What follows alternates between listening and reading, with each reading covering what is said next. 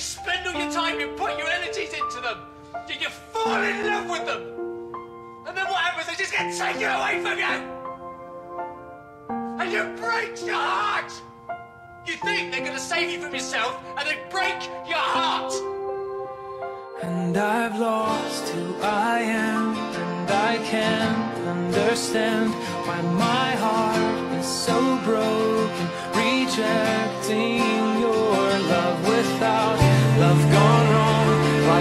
words carry